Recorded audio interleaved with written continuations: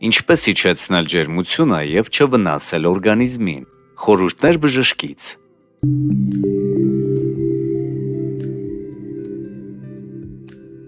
Երբ մենք հիվանդանում ենք եւ ջերմությունը բարձրանում է, ավանդաբար կիրառվող մեթոդներով երբեմն ավելի հաճախ վնասում ենք մեզ։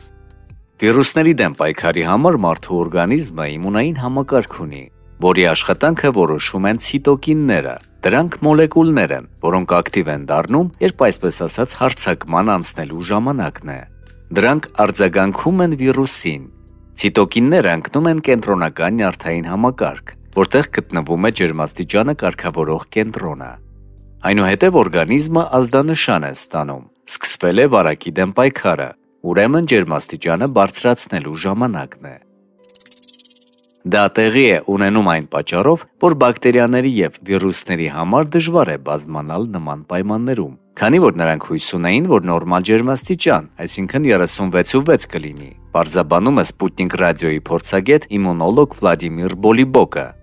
Գոյություն ունի նաև վիրուսների դեմ պայքարի կատարյալ ջերմաստիճան։ Դա մոտավորապես 37-ից մի փոքր ավելին է, մինչև 38.5 աստիճան։ Եթե ջերմությունը 38.5-ից ցածր է, պետք չէ ջերմիչեցնող ընդունել։ Օրգանիզմը ինքը կհաղթահարի վարակը։ Որոշ ավանդական միջոցներ, որոնք կարծես թե պետք է օգնեն հաղթահարել ջերմությունը, կարող են միայն վնասել։ Դոկտոր Պիտեր Կայքը հրապարակել է հուշումներ, թե ինչ չպետք է անել բարձր ջերմության դեպքում։ Եթե ջերմություն ունեք եւ ջերմաչափի վրա 38 աստիճան է ցույց տալիս, մի շտապեք իջեցնել այն։ Այդպես դուք մանրեներին թույլ եք տալիս գրավել օրգանիզմը։ Թող օրգանիզմը ինքը հաղթահարի։ Մի օգնեք ձեր օրգանիզմին բարձրացնել ջերմությունը։ Այնպես որ հրաժարվեք մանանեխի կամ սպիրտային թռչոցներից, տաք լոգանքից, ազնվամորիով թեյից, տաք կաթից, սուրճից եւ ալկոհոլից։